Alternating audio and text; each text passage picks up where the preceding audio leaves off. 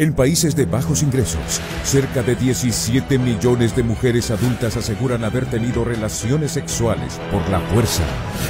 Canal 5 estrena en el Día Internacional de la Mujer. ¿Quién hizo esto? Una historia de la vida real. Hasta hoy han callado a todos, a algunos con dinero y a otros asustándolos.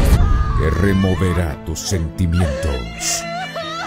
¿Vas a poder dormir con la mujer de la que otros abusaron? Te aceptará así, Mustafa.